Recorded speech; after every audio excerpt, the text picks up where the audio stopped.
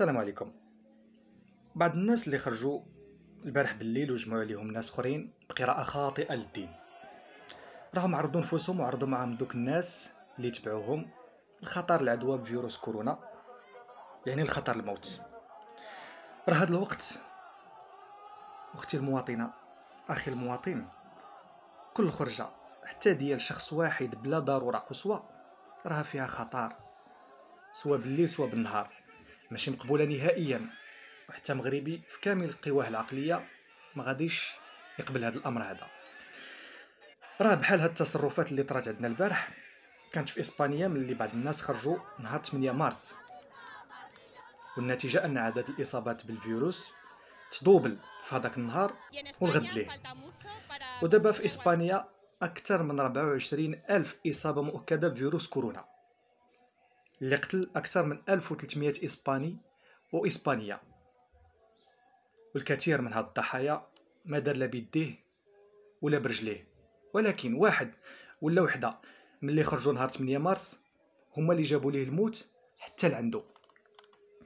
داكشي باش أن رئيس وزراء إسبانيا قرر نهار 14 مارس يعني 6 أيام فقط من وراء هذيك المظاهرة ديال 8 مارس تعميم حالة الطوارئ في البلاد كلها. وقال بالحرف أن قوات الجيش مستعدة لمواجهة فيروس كورونا والتداعيات ديالو. راه اللي ما فهم باللطافة ما ينفع معاه الصراحة غير العسكر. ما تخليو حتى واحد يجركم لمخالفة القانون يجركم للمرض ولا الموت لا قدر الله. بقاو في ديوركم. ونبقاو كلنا مغاربة متوحدين ومتحدين. وعدونا هو فيروس كورونا. راه الدعاء الصادق هو اللي بينك وبين الله واش جا نتبعوها الإخوان؟ أشنو استفدتوا من النزول للشارع بشكل جماعي.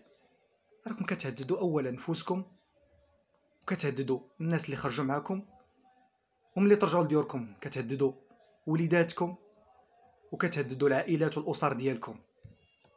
نبقاو جميع في ديورنا. ونمتثلوا للتعليمات ديال الدولة ديالنا اللي كتخاف علينا. ما نتهوروش. راه التهور كيجيب غير النتائج العكسية.